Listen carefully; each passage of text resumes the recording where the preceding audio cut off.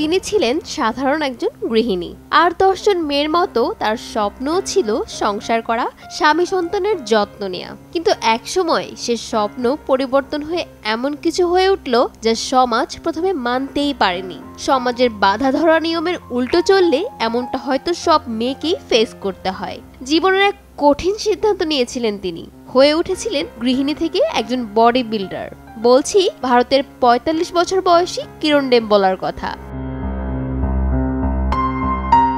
সংসার, সন্তান আর এরপরেই অসুস্থতা। সব কিছু নিয়ে একেবারেই ভেঙে পড়েছিলেন তিনি। বেড়ে গিয়েছিল ওজনও। ছিয়াত্তর কেজির বোঝা যেন তার শরীর ও মনকে করে দিয়েছিল অবশ। আর সেখান থেকেই ফিরে আসা এক যোদ্ধা কিরণ। ছোটবেলায় গানকে ভালোবাসতেন। বিয়ের পর সংসারের চাপে সেটা উবে গিয়েছিল। এরপরেই আবার গানের জগতে ফিরতে শুরু করেন। গান শিক্ষা দিয়ে নতুন করে ফেরার চেষ্টায় যেন ফিরে পেলেন আত্মবিশ্বাস।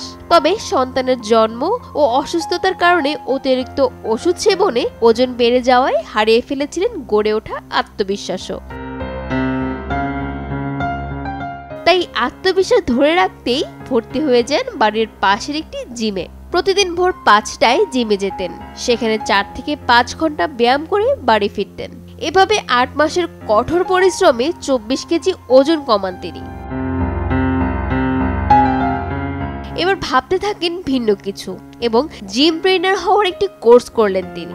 এরপর শুধুই এগিয়ে যাওয়ার গল্প।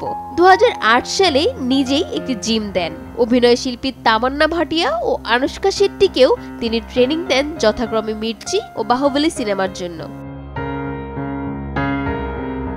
এভাবে কয়েক বছর কাটানোর পর দুহাজার বারো সালে তিনি বডি বিল্ডার হওয়ার সিদ্ধান্ত নেন। কেননা তার মনে হয় শুধু বডি ফিট হওয়াটাই যথেষ্ট নয়, অন্য এক ধাপে নিয়ে যেতে হবে নিজেকে। অবশেষে কঠোর নিয়ম মেনে আট মাসে তিনি সিক্স প্যাক অর্জন করতে সক্ষম হন।